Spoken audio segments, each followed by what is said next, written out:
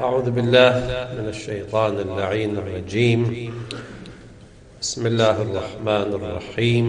وأفضل الصلاة وأتم السلام على أشرف الخلق وسيد المرسلين محمد المصطفى وآله الطيبين الطاهرين.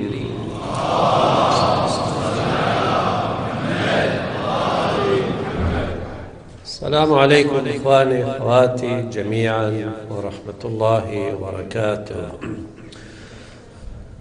نذكر أنفسنا بالموضوع الذي بدأنا به البارحة من لم يكن حاضرا نذكره بالعنوان. قلنا نحن في حال سفر شئنا أم أبينا؟ من ينكر هذا السفر؟ يفاجئه ملك الموت ليأخذه على حين غفلة. وهذه الأيام كما تعلمون نرى كثيرا موت فجأة ممن نتوقع لهم عمرا مديدا أحدنا. هكذا يبرمج لنفسه يقول أنا سأعيش ستين سنة ولكن يفاجأ في منتصف العمر أن الموت يأتيه بغتة. والقبر صندوق العمل الموت يأتي بغتة والقبر صندوق العمل.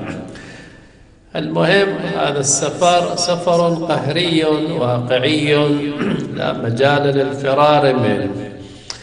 قلنا الإنسان المسافر عادة يتزود أحدكم في الصيف قبل أشهر.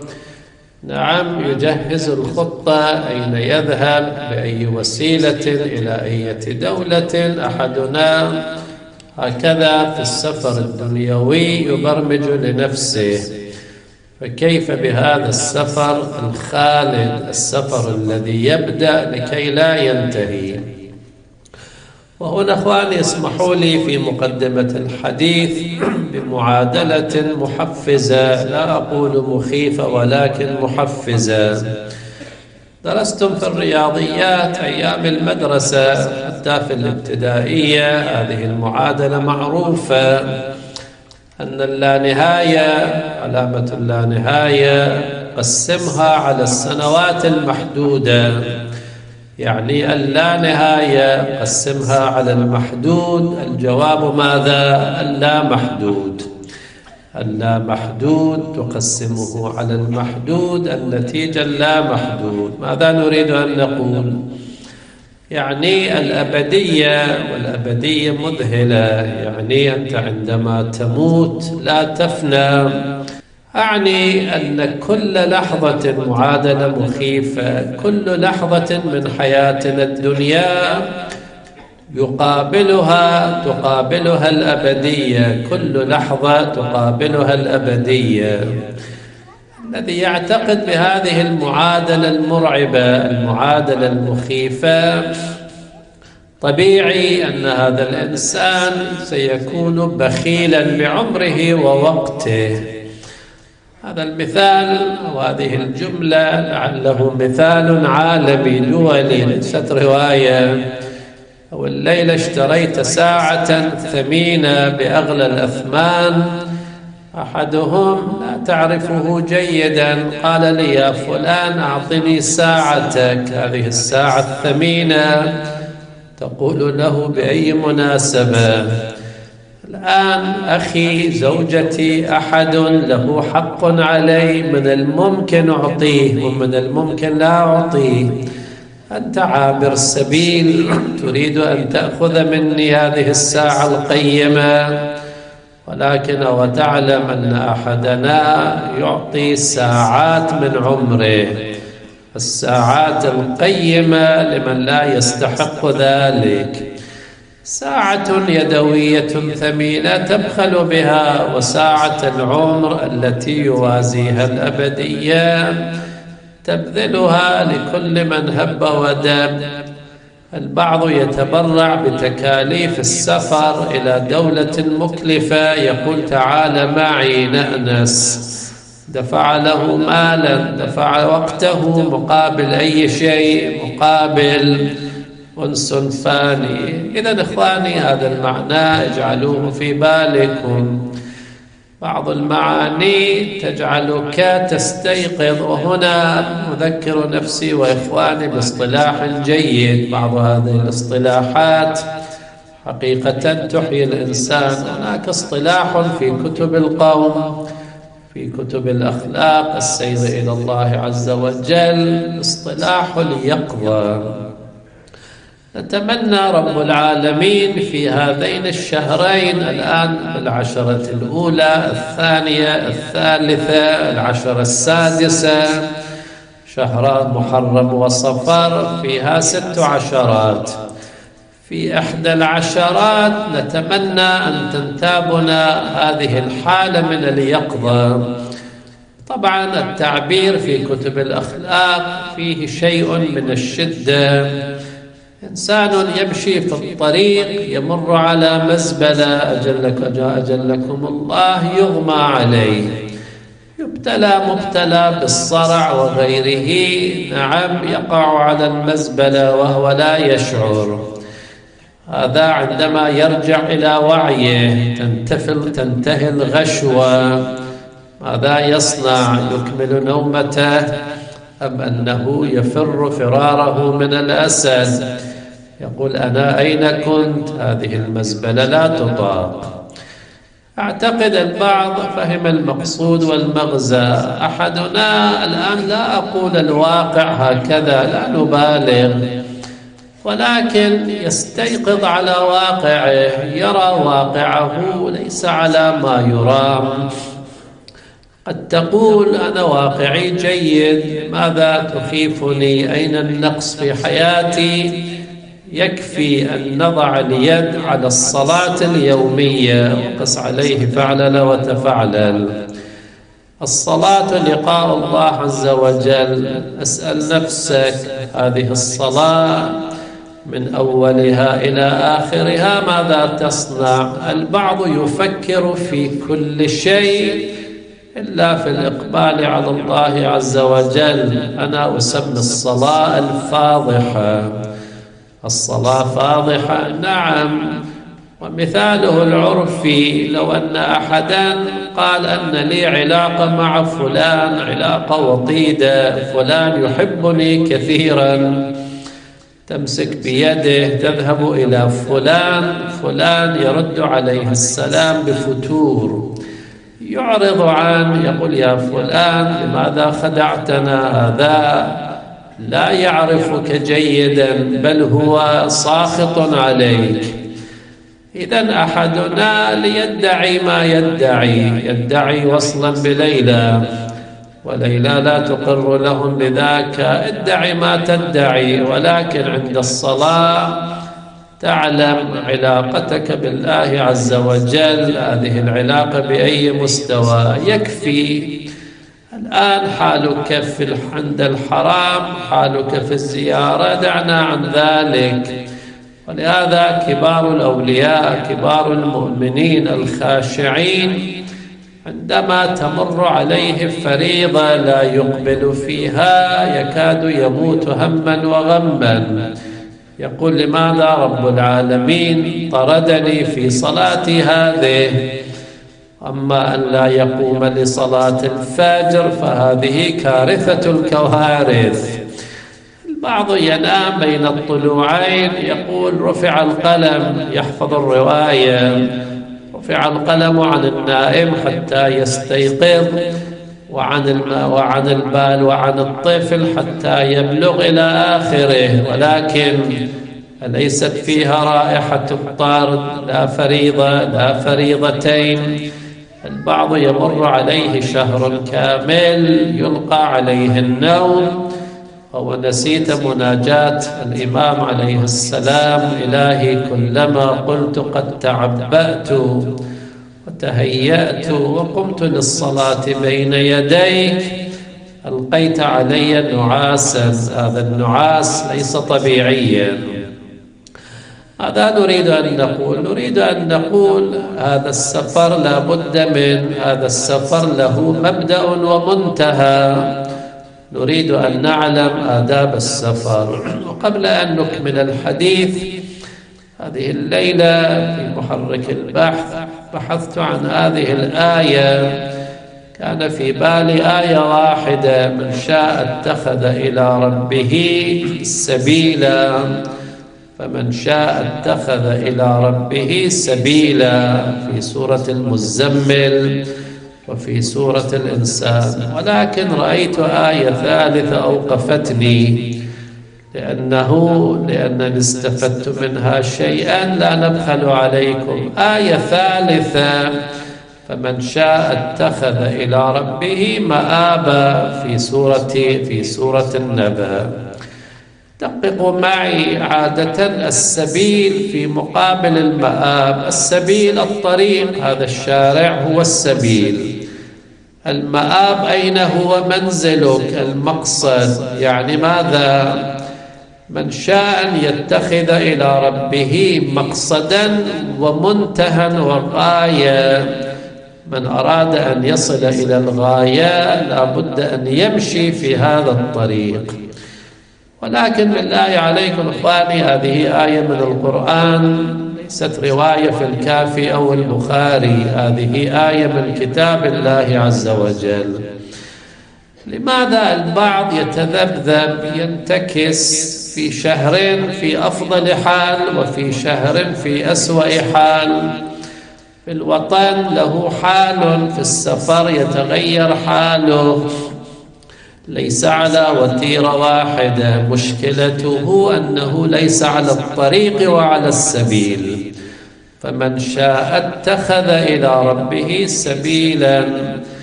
أن تكون كذا متعبدا. أيام الزيارة زيارة. أيام المشي مشي. أيام العمرة عمرة. أيام الحج حج. هذا جيد ولكن هل لك سبيل هل لك طريق في هذا المجال؟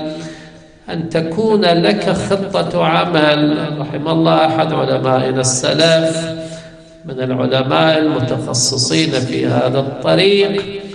جمعتني معه خلوة قال كلمة عابرة ولكنها ما كانت عابرة كلمة في الصميم. وهذه الكلمة أنا أخذتها بنحو الفتوى لأنه كان فقيها. نعم قال كلمة جامعة مانعة وأنا أنقلها لكم من بركات المنبر الحسيني. قال كلمة جامعة مانعة صيغة النصيحة صيغة الفتوى. كيف يقول البعض هذا يجب على الأحوط هذا فتوى. قال من لم يراقب نفسه مراقبة متصلة لا يصل إلى مقام وضع خطا تحت كلمة المتصلة. أنت خارج المنزل قد تكون مراقبا لنفسك تخشى من الفضيحة الاجتماعية. تحب أن تكون وجيها في نظر الناس مثلا ولكن إذا دخلت المنزل نزعت الثوب لبست ثوب النوم أحدنا يخرج من المراقبة والمحاسبة يتكلم مع زوجته بغلظة تقول له يا فلان أين حسن الخلق؟ يقول هذا مع الغير مع الأصدقاء. والحال لا أريد بهذه الكلمة أن أدخل السرور على النساء فحسب مسألة.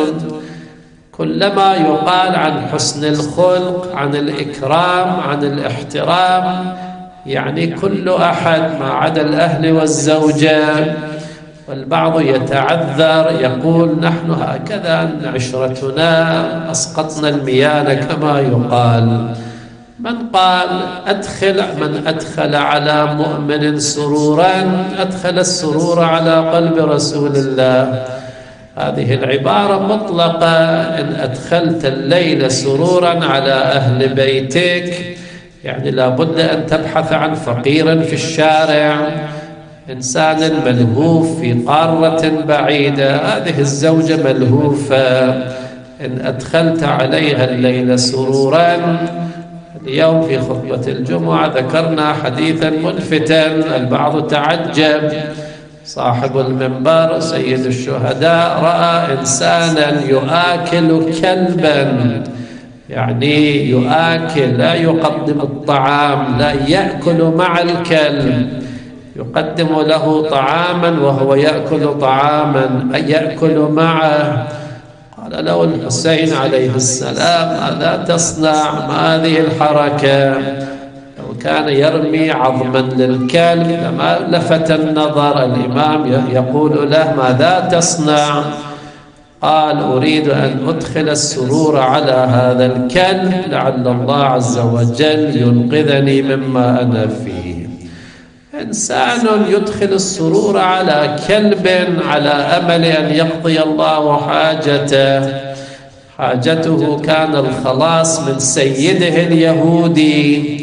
الإمام قال يعني تعالى معي ذهب لليهودي وقال أطلق سراح هذا الغلام يعني أعتق قال فداء لخطاك يا أبا عبد الله جئتني لأعتق هذا العابد لأخلصه خلصته. والبستان له أيضا هذا البستان الذي يعمل فيه هدية له. الشاهد إخواني كن هكذا لبقا كن دقيقا في تصرفاتك. هذه مقدمة محفزة في كل ليلة. عادة في المطاعم الفاخرة يقدمون بعض المقبلات ثم الطعام الأصلي. أما حديثنا كان الحديث في زاد السفر كيف نصل من ميناء الذات؟ من كان معنا البارحة كيف نصل من ميناء الذات إلى ميناء اللقاء الإلهي بهذه السفينة الشراعية؟ لماذا قلنا سفينة شراعية؟ لأننا ننتظر الرياح الموسمية. لو أعلنا عندنا محاضرة في هذا المجال قبل شهرين أو بعد شهرين هذا الجمع المبارك أين يجتمع. ولكن من بركات الحسين عليه السلام الحمد لله هذا الجمع المبارك من أول محرم يلتزم الحضور. من القواعد في هذا المجال إخواني الجامعية كلمة واحدة احفظها الجامعية. هنالك كونوا معي ثلاث مسالك ثلاث أمزجة في هذا العالم. ما هذه الأمزجة الثلاث؟ البعض يغلب عليهم الذكر نسميهم الذكريون. أنا أتعجب من شاب مراهق مراهق أعني يرتكب المعاصي. قبل فترة طويلة واقعنا هذا الإنسان أي إنسان كان يصلي خلفنا في المسجد قال لي يا فلان ما من حرام إلا وقد ارتكبته. دعونا له بالتوفيق والتوبة. يبدو رب العالمين عالجه. هو ما تاب ولكن قطع عمره. في ريعان شبابه توفاه الله عز وجل. شفقة عليه هذا لو بقي حيا. بعض الميتة واقعا نعم على أصحابها. هذا لو فقد أحدكم شابا له الحق أن يتألم. ولكن احتمل لو بقي حيا لكثرت معاصيه. ولهذا إمامنا زين العابدين يعلمنا دعاء اللهم إن كان عمري مرتعا للشيطان فاقبضني إليك مالي والدنيا. إذا كانت توجب المزيد من المعصية. المهم هذا بعض الشباب يأتينا من أصحاب المنكر يقول علمني ذكرا أترك به الحرام أنا في قلبي أضحك عليه.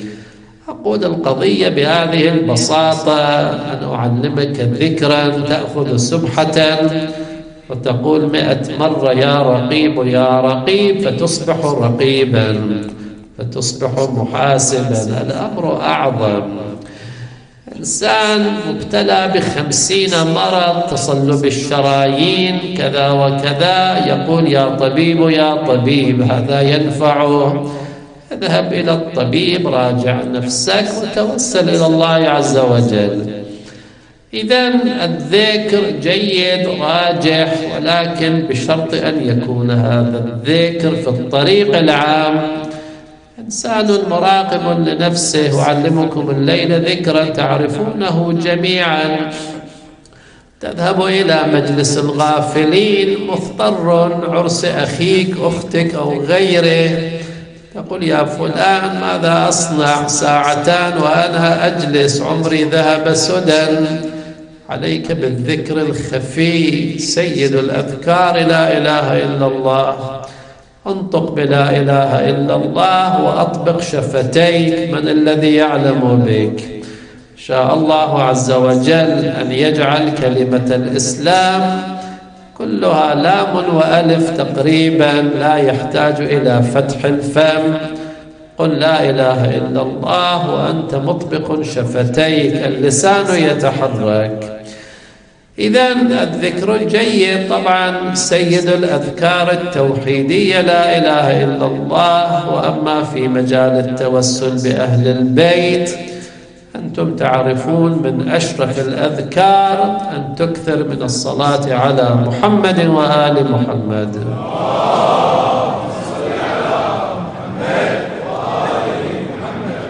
نعطي القضية حقها البعض يقول بأن الصلوات من بعض الجهات أقوى من التهليل. لا أقول أن الصلوات كلمة الإسلام. يقولون أنت بلا إله إلا الله تتكل على قدرتك. يقول لا إله إلا الله ولكن في الصلاة على النبي وآله توسط النبي وأهل بيته. يعني يا رسول الله خذ بيدي أنا أصلي عليك. وأنت صل علي من باب المبادلة. الجزاء الإحسان إلا الإحسان؟ هل كنت معي في هذه الجملة؟ يا رب صل على النبي وآله. يعني يا رسول الله أنت أيضا صل علي قد تقول نحن نصلي على النبي. معقول النبي يصلي علينا؟ نعم. النبي ليس أعلى من الله عز وجل. رب العالمين يصلي عليك ويسلم عليك. الذين إذا أصابتهم مصيبة قالوا إنا لله وإنا إليه راجعون. أولئك عليهم صلوات من ربهم. رب العالمين يصلي عليك. ما المانع رسول الله يصلي عليك. أنت طوال العمر لو نطقت بمليون مرة من الصلوات النبي صلى عليك مرة واحدة. هذه تكفي. يقلب كيانك رسول الله إن صلى عليك ما بقي شيء. إذا الذكر جيد حللنا الذكر قريبا قليلا ولكن كما قلنا اجعله في خانته لا تبالغ. مسألة في الأزمنة القديمة يأتون للعالم يقولون مولانا مسألة الآن مسألة. أحدنا يذكر ذكرا بلا توجه أمام التلفاز ينظر إلى مسلسل إلى مباراة إلى غيره ويريد أن يكمل ذكر عاشوراء مثلا. ما حكم هذا الذكر؟ هل فيه أثر أم لا؟ واقعا هنا الآراء مختلفة. البعض يقول الذكر دعاء الذي لا يدعو لا ذكر له. مثاله الإنسان الآن ولدك يقول أنا عطشان. أصلا من دون أن يقول أنا عطشان الأم تبادر إلى سقيها. رحم الله أحد العلماء الكبار يقول أنا لا آمر زوجتي أريد ماء لا أقول ائتيني بماء. أقول أنا عطشان لا أريد أن آمرها. جيد أسلوب مناسب. يقال في عرف العلماء إنشاء يراد به الأمر. الشاهد إنسان يقول أنا عطشان الكل يتسابق ولكن هذا الأب في المستشفى وهو مغمى عليه ليقول ألف مرة أنا عطشان لا تسقيه ماء ولو سقيته لآذيته. إذا هذا النائم هذا المغمى عليه هذا الميت سريريا يقول أريد ماء لا ترتب عليه الأثر لأنه ذكر بلا توجه لأنها كلمات لا معنى من ورائها. إذا بيدك السبحة أستغفر الله وأتوب إليه لست بنادم لست بمستغفر. هذا مثل ما يقول النائم أنا عطشان إذا حاول أن تجعل في الذكر معنى. البعض له كلمة هذه الكلمة أيضا جيدة. يقول صحيح هذا الإنسان فكه مشغول بالذكر لسانه ذاكر وقلبه معرض ولكن هذا خير من العدم. إنسان يمضغ العلك أين؟ وإنسان يقول لا إله إلا الله أين؟ صحيح. غير ملتفت ولكن هذه الهيئة هيئة مطلوبة. وجواب ثالث أيضا جيد. إنسان يزرع مزرعة القمح قمحه في تلك السنة تصبح الزراعة فاسدة قمحه لا ينبت. ولكن طحن كمية يجد فيها بعض الحبات عشرون حبة أيضا جيد. يعني التزم بذكر ألف مرة في مرة من المرات الألف توجه خير من العدم. السلام عليك يا أبا عبد الله وعلى الأرواح التي حلت بفنائك. عليك مني سلام الله يذكر عاشورا وهو في الطريق ينظر يمينا وشمالا. ولكن لو قلت السلام عليك مرة واحدة بتوجه هذه المرة تنفعك. إذا هذه تقريبا فروع المسألة قيمة الذكر ووزنه في تقريب العبد إلى الله عز وجل. إخواني ما دام الكلام في الذكر أنا لست ناسيا سير البحث ما دام الكلام في الذكر رب العالمين كما في دعائكم ميل سريع الرضا. أعلمك الليلة ذكرا البعض سمع مني. ذكر في جملتين مختصرتين ولكن إن قلتها بتوجه تغنيك عن دعاء مفصل. ولكن الكلام متى؟ عندما تكون في الشدة في أزمة. الآن أزمة مالية أزمة بدنية أزمة أمنية لا أدري. في حالة تعيش الانقطاع إلى الله عز وجل. إلهي قد ترى ما أنا فيه. قد يعني بمعنى التحقيق قد ترى ما أنا فيه. ففرج عني ما أنا فيه برقية مستعجلة إنسان يغرق في البحر ماذا يقول؟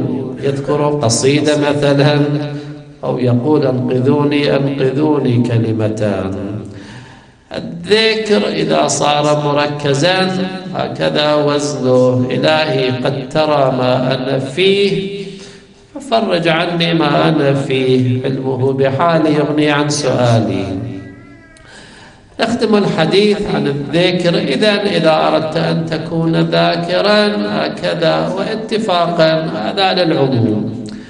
ولكن أيضا البعض منكم أنا أعلم بعض الحاضرين له شغف بهذا العالم له جوع باطني.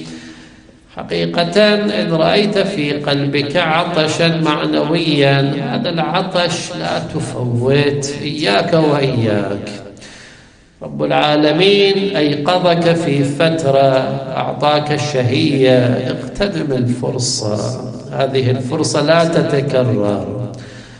لا تقول اليوم أنا بحمد الله في حالة جيدة قد تكون غدا في أسوأ حال. لا يعلم. أنت اليوم مقبل. أنت اليوم قلبك يدفعك للمجالس. بعد السنة لا يعلم أنت بأي حال. انتكاسات آخر الزمان معروفة. يصبح العبد مؤمنا ويغدي كافرا ويغدو كافرا. إذا ما دمت تعيش هذا الإقبال هذا العطش. لا تفوت الفرصة. البعض نعم قد يحول هذا الذكر إلى جلسة أنس مع رب العالمين. كيف؟ يعني يأخذ زاوية في المنزل في مكان لا يراه أحد. ونصيحة العملية اجلس في مكان مريح. داعي لأن تتكلف. إذا كان المكان يريحك خذ مكانا مريحا رحم الله. أو عليه السلام موسى على نبينا وآله وعليه السلام. لما سقى البنتين ماذا صنع؟ دعا في الشمس لا. فلما تولى إلى الظل ذهب إلى ظل ظليل ولهذا البعض في يوم عرفة لا يتوجه. يقول الخيمة غير مناسبة. الجو كان حارا لم نتوجه. المهم خذ مكانا مريحا في المنزل في الحديقة على شاطئ البحر لا أدري. أغمض عينيك واشتغل بالذكر. الآن اليونسي التهليل. الصلاة على النبي وآله زيارة عاشوراء تصل إلى فترة حقيقة تستلذ بذلك. ومثاله إنسان كان مسجونا هذا المثال اجعله في بالك. إنسان في زنزانة وفجأة نبت له جناحان. هذا عندما يخرج من السجن ويطير كم يحلق في الفضاء؟ إذا قيل له سترجع بعد ساعة كم يكون حزينا عندما يريد أن يرجع إلى زنزانته. بعض المؤمنين يرى الدنيا سجنا يراه سجنا كبيرا. الدنيا سجن المؤمن وجنة الكافر. واقعا يرجع من العمل مع الزملاء الغافلين مع المعاصين. نعم يرى ما لا يعجبه يذهب إلى السوق جبرا ليشتري بضاعة لأهل بيته. يرجع إلى المنزل يستلقي في مكان ليعود إلى باطنه يحلق. هذا لا يحتاج إلى حديث الليلة أقبل هو مقبل. ومقبل مثال آخر تتم للحديث. رأيتم الذي يمشي على الحابل ماذا يصنع؟ الذي يمشي على الحابل. عينه للأمام إن نظر إلى تحت وقع. رأسه يصاب بالدوار. هذا الإنسان يمشي على الحابل. لا يطيق النظر إلى أسفل. ذاكر الله عز وجل هكذا. عندما يصلي يخاف أن ينظر يمينا وشمالا نعني بقلبه يخشى أن تسلب منه الحالة الكذائية. ولهذا هؤلاء أهل الذكر حقيقة. هذه الرواية من الروايات البديعة. تنعموا بعبادتي في الدنيا تنعموا أي تلذذوا فإنكم تتنعمون بها في الآخرة.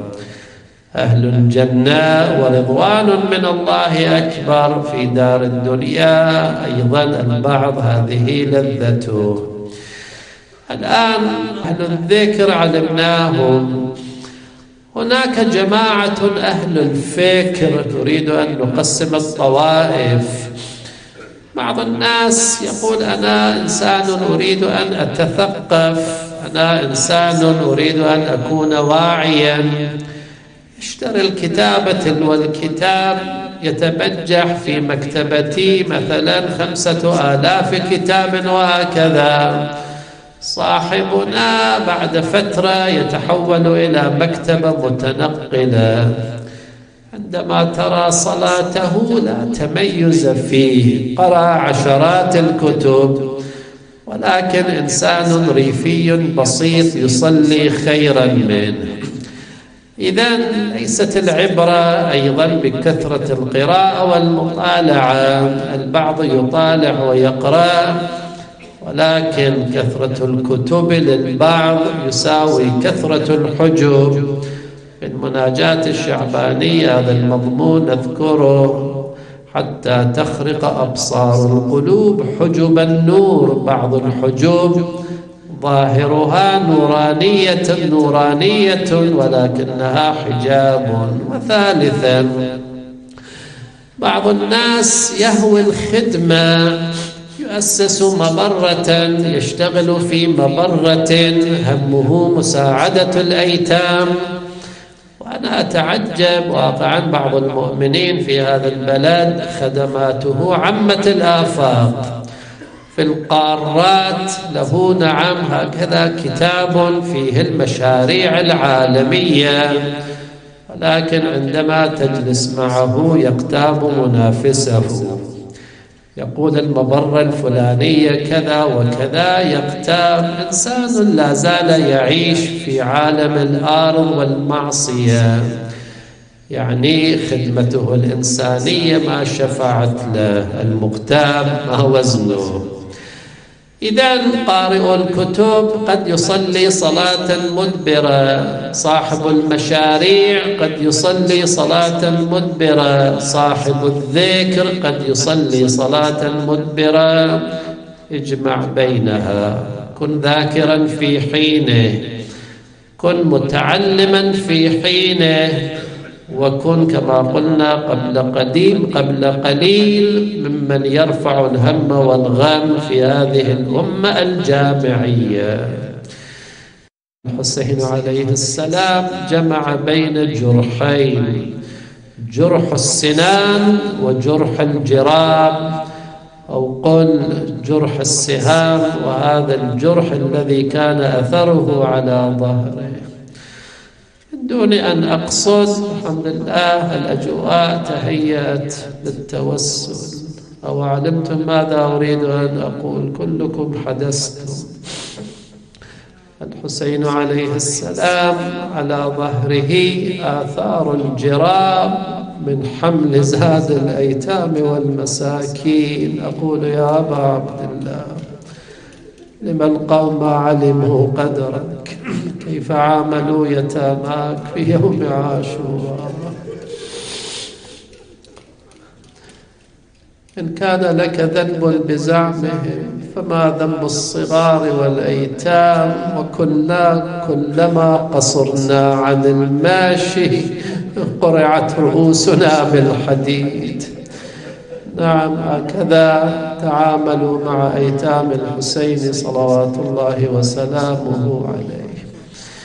عندما احترقت الخيام الطاهرة كأني بيتامى الحسين عليه السلام وهن يلذن حول الزينب. البعض يقال اشتعلت في ثيابها النار.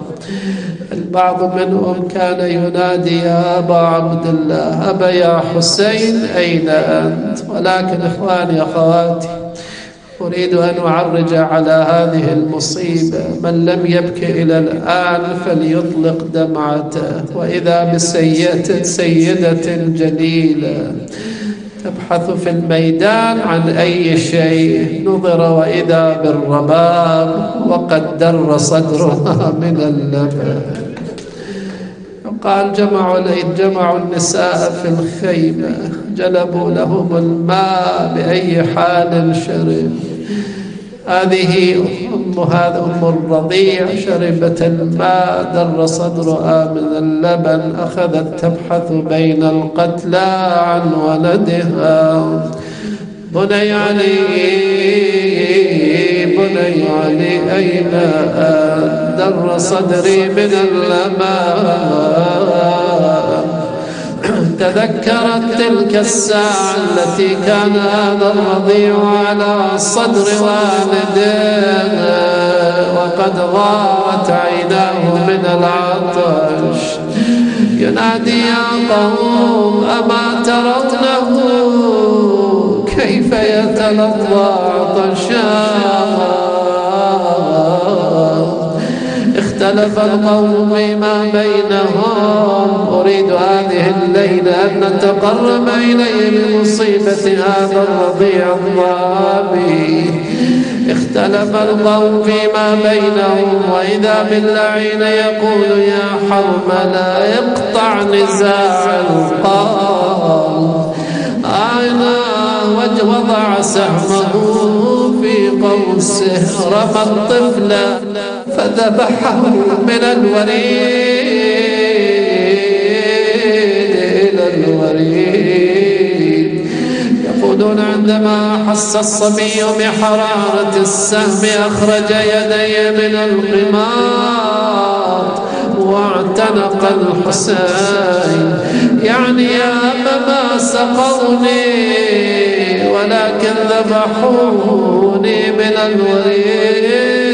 إلى الوريد ومنعطف أهوى لتقبيل طفله فقبل منه السهم من قبل من حرى رحم الله من نادى ثلاثا وعليا.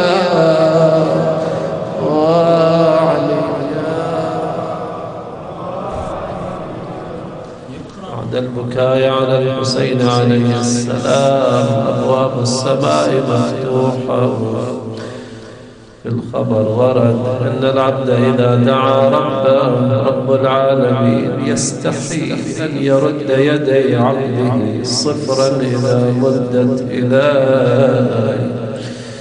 عشان يهملنا رب العالمين. ولا يقول الرضا عليه السلام فإن البكاء عليه يحط الذنوب العظام. بتوجه. يا الله يا الله.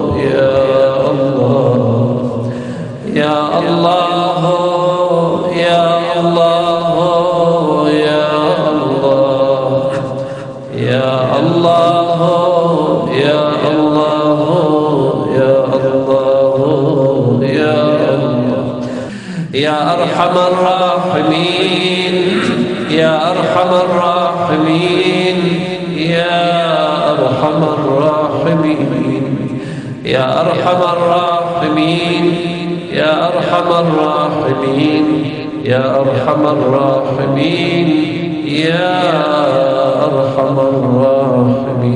اللهم عجل لوليك الفرج أبلغ عنا تحية كثيرة وسلاما. اللهم لين قلوبنا لولي أمرك. اللهم لا تنسنا ذكره والدعاء له. اللهم لا تنسه ذكرنا والدعاء لنا اللهم اغفر لنا الذنوب التي حالت بيننا وبين فرجه. اللهم اشهدنا ايامه وأدرك بنا قيامه وسلم عليه واردد إلينا سلامه من كان في جمعنا له حاجة اللهم اقض حوائجنا فوق رغبتنا اللهم تقبل منا إنك أنت السميع العليم بلغ أرواح المؤمنين والمؤمنات ثواب الفاتحة مع الصلوات.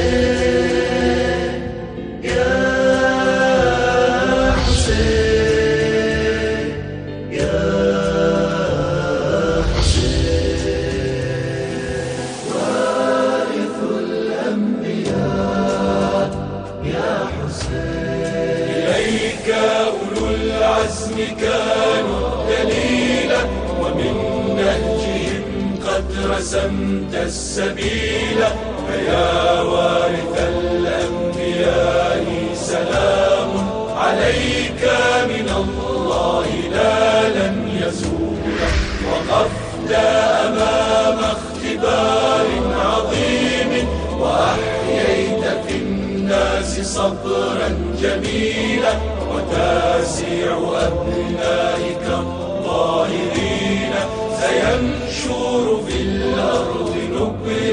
أصيلا وإن المعارف تر